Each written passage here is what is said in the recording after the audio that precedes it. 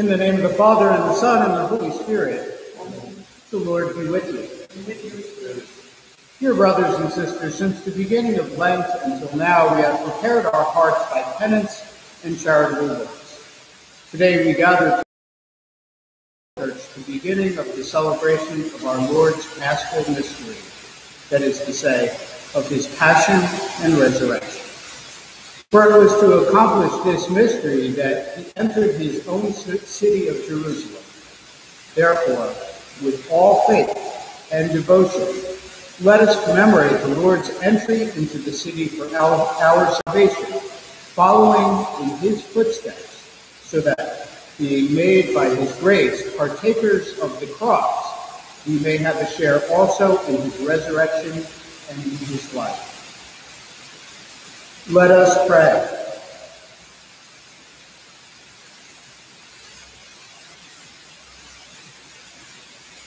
Almighty, ever-living God, sanctify these branches with your blessing, that we who follow Christ the King in exaltation may reach the eternal Jerusalem through him, who lives and reigns forever and ever. Amen.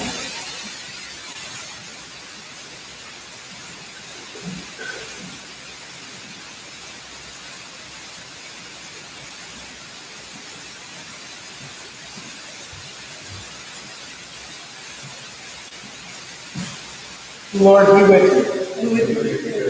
A reading from the Holy Gospel according to St. Matthew.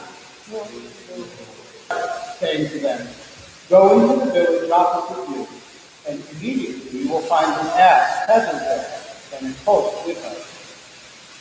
Untie them and bring them here to me. And if anyone should say anything to you, reply, The master is in need of them. Then you will send them at once. This happened so that what had been spoken to the prophet might be fulfilled. Say to daughter Zion, Behold, your king comes to you, meek and riding on an ass and on a colt, the foal of the beast of burden. The disciples went and did as Jesus had ordered them. They brought the ass and the colt and laid their cloaks over them, and he sat upon them. The very large crowd spread their cloaks on the road while others cut branches from the tree and threw them on the road. The crowd preceding him and those following kept crying out to the Son of David, Blessed is he who comes in the name of the Lord, Hosanna in the highest. When he entered Nazareth in Galilee,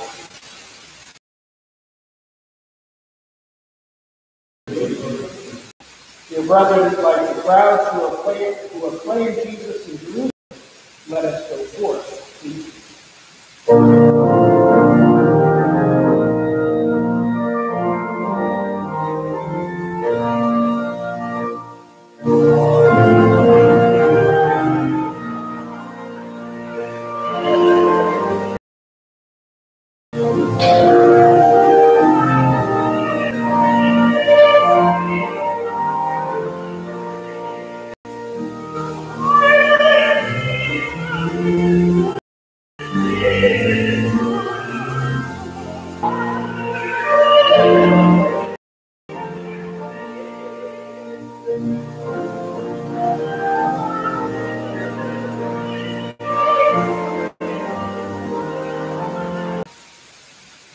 from the book of the prophet Isaiah.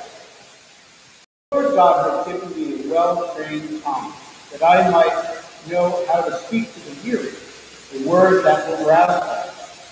Morning after morning, he opens my ear that I may hear, and I have not rebelled, have not turned back. I gave my back to those. The Lord God is my help. I am not disgraced. I have set my face like flint, my face like flint, knowing that I shall not be put to shame.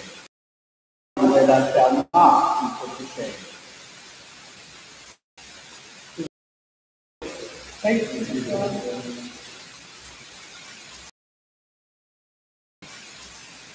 My God, my God, my God, why have you abandoned me? My God, my God, why have you abandoned me? All who see me scoff at me. They mock me with parted lips. They wag their heads. He replied, he relied on the Lord. Let him deliver him. Let him rescue him if he loves him. My God, why have you abandoned me?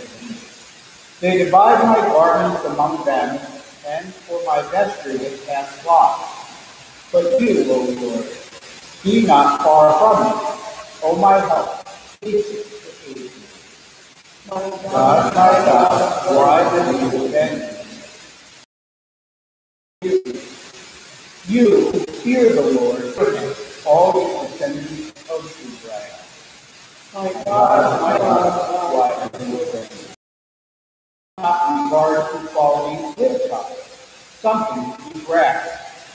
Rather, he emptied himself, taking the form of a slave. In appearance, he humbled himself. Death on the cross. God greatly exalted him and bestowed on him the name which is beyond, which is above every name that at the name of Jesus, every knee should bend of those in heaven and on earth and under the earth, and every tongue confess that Jesus Christ is Lord, to the glory of God the Father. The word of the Lord. Thank you, God.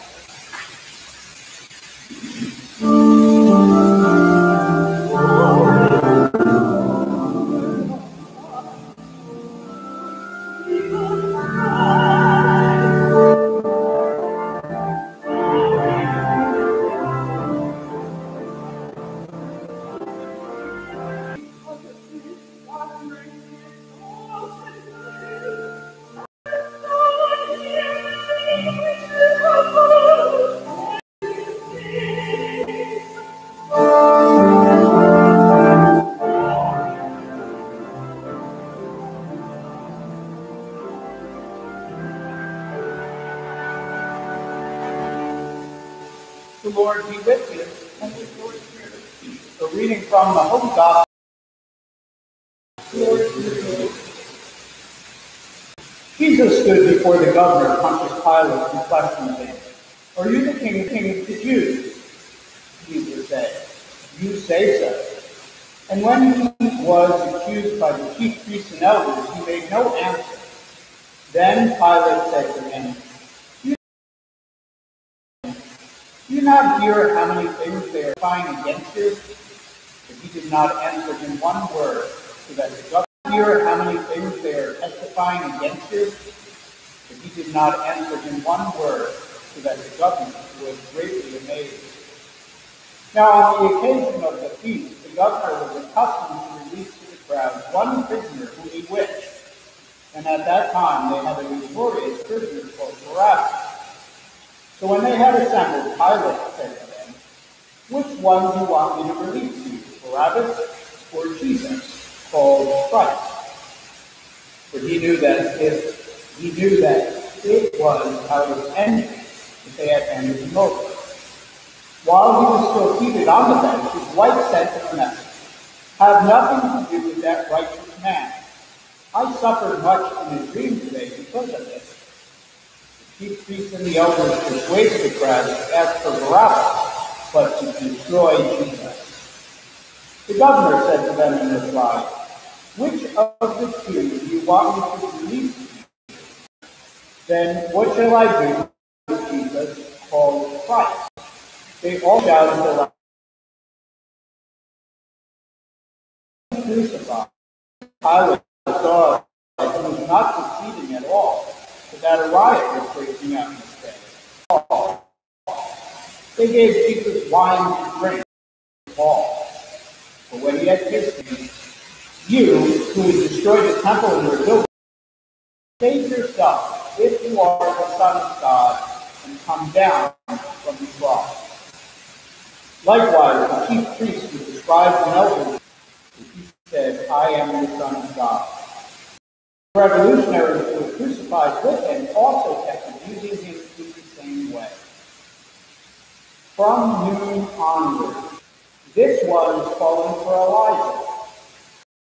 One of them ran to get a sponge, soaked it in wine, and putting it on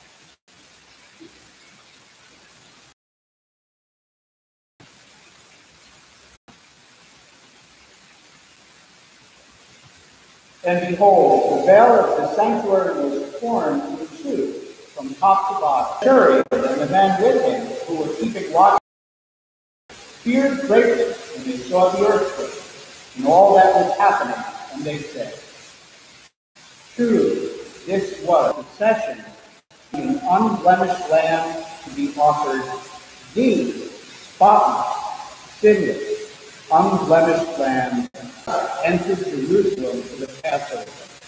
Not just President Paul, lambs were no longer slaughtered at the homes of the families celebrating the Passover. Celebrating the Passover with sacrifices of blood that was smeared on the doorposts. That was no longer done. Instead, all the lambs were slaughtered in one temple. And there was so much blood pouring out of the temple that it went down the sky. They were hung in the shape of a cross. This must have been lambs hanging in the temple as Passover offerings of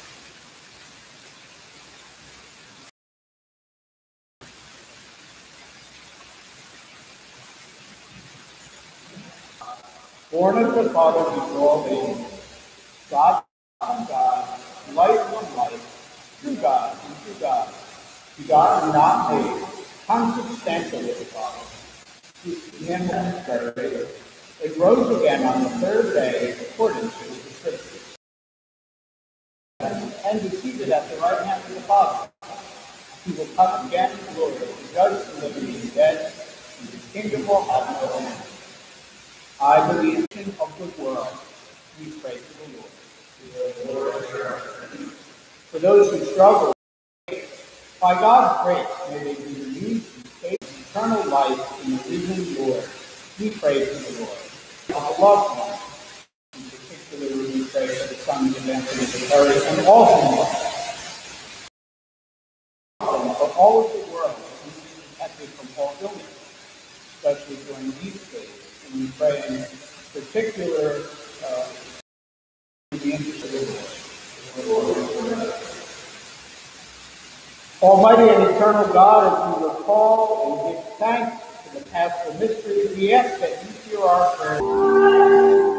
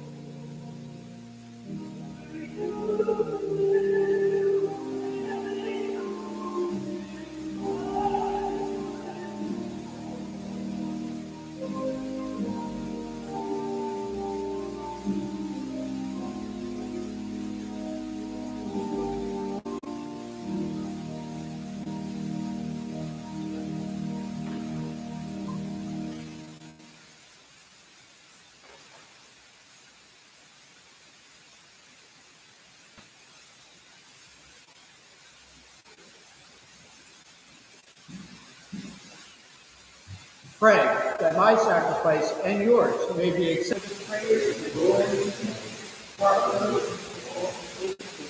through the passion of your only begotten Son, we may feel already the effects of your mercy.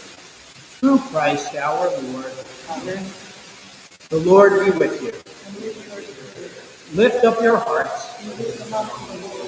Let us give thanks to the Lord our God. It is truly right and just, our duty and our nation to accept his unjust condemnation to save the guilty. His death has washed away our sins. His resurrection has purchased our justification.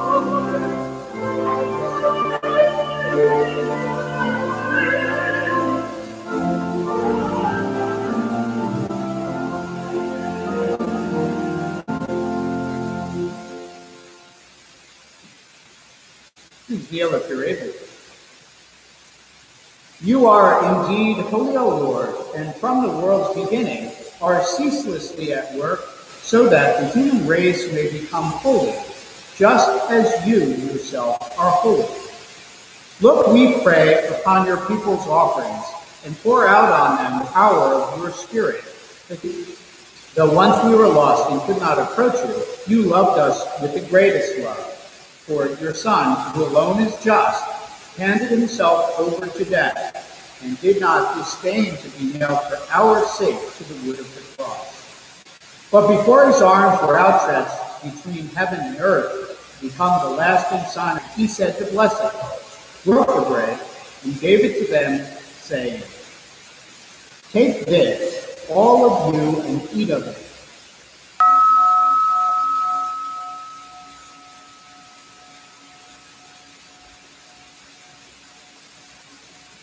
Blood to be shed on the cross, he took the chalice filled with the fruit of the vine, and once more giving you thanks, handed the chalice to his disciples, saying, Take this, drink from it, for this is the chalice of my blood, the blood of the new and eternal covenant, which will be poured out for you and for many for the forgiveness of sins. Do this in memory of me.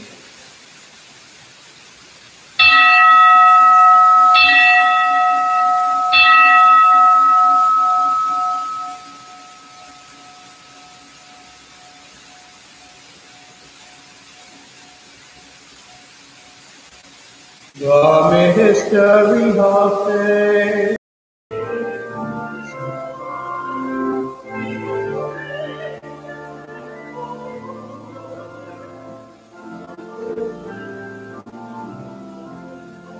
Peace, we celebrate his death and resurrection from the dead.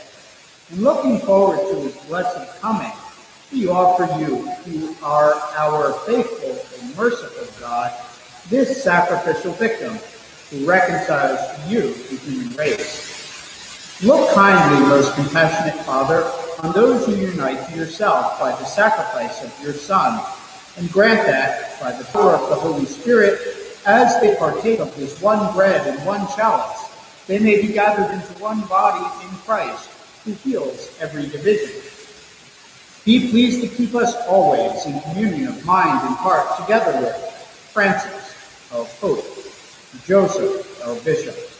Help us to work together for the coming of your kingdom until the hour when we stand before you, saints among the saints in the halls of heaven, with the Blessed Virgin Mary, Mother of God, and Saint Joseph, her spouse, the blessed apostles and all the saints, and with our deceased brothers and sisters, whom we humbly commend to your mercy.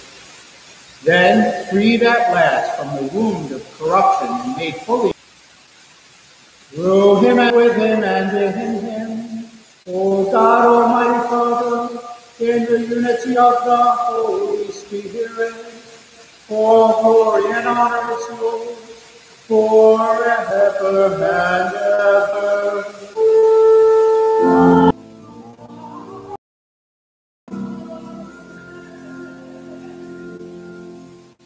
At the Savior's command, and informed by divine teaching, we dare to say, Our Father, who art in heaven, hallowed be thy name. Thy kingdom come, thy will be done, on earth as it is in heaven. Give us this day our daily bread, and forgive us our trespasses, as we forgive those who trespass against us. And lead us not into temptation, but deliver us from evil. Deliver us, Lord, we pray, from every evil.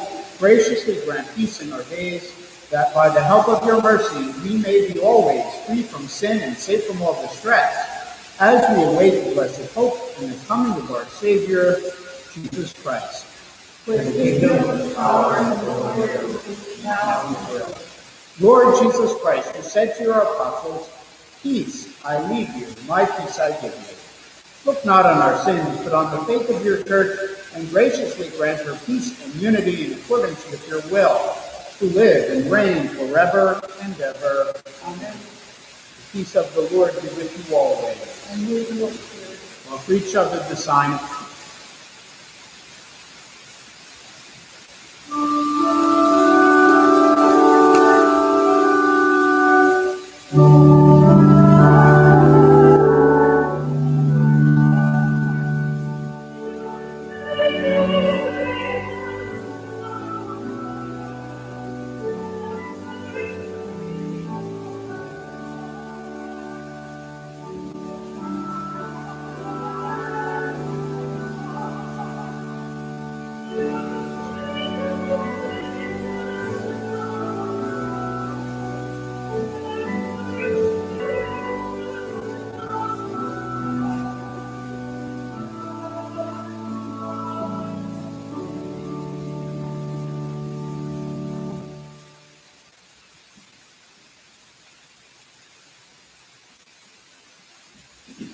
Behold the Lamb of God.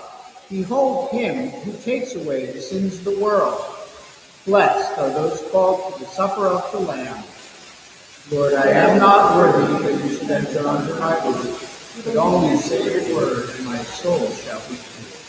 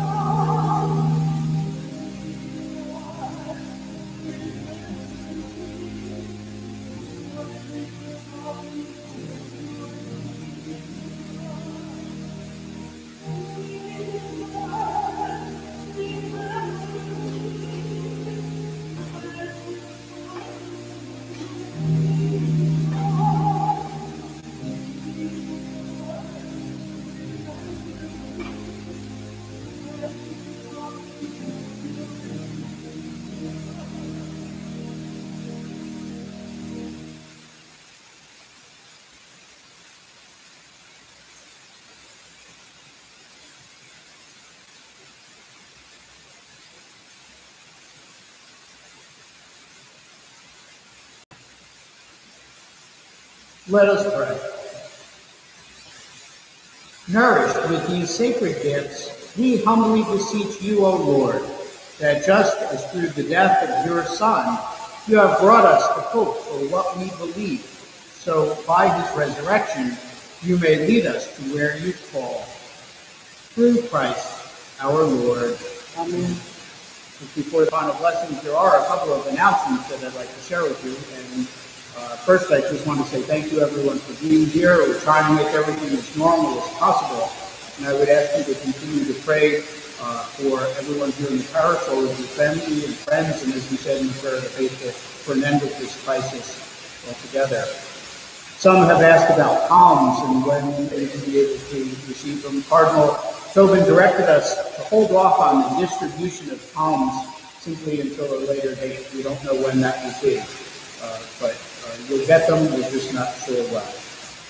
I want to say thank you to all of you for your letters, your calls, your emails. I'm well. Everybody in the office is well, and we all appreciate your concern. Thanks also to you all who have sent your envelopes in. Greatly appreciated in supporting the parish during this difficult time.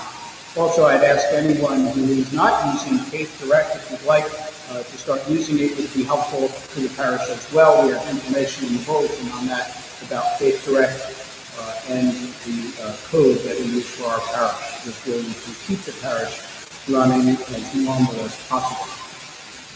I'd like you to uh, take a visit to our parish website for the Holy Week schedule. We will have Holy Thursday Mass broadcast at 7.30. We'll have Good Friday Stations of the Cross also at 7.30. And we have an Easter Sunday Mass scheduled for 9 a.m. So uh, make reference to the bulletin. Also, there's a lot of other stuff in the bulletin. I'd ask you to uh, take a, a, look at that just to stay updated with everything that's going on. And lastly, someone said to me, Father, if you're nervous about broadcasting into a camera, and then he said, and realized that they probably aren't in their pajamas. So if you're at home in your pajamas, welcome, and uh, I'm glad that you're here. No matter what you're wearing, I'm glad that you're here uh, and uh, celebrating that together. Continue to pray uh, for everyone in the parish, especially for an end of this crisis. The Lord be with you. Bow down now and pray for God's blessing. Look, we pray, O Lord, on this your family, for whom our Lord Jesus Christ did not hesitate to be delivered into the hands of the wicked and submit to the agony of the cross, who lives and reigns forever and ever. Amen. May Almighty God bless you, the Father, and the Son, and the Holy Spirit. Amen. Go in peace.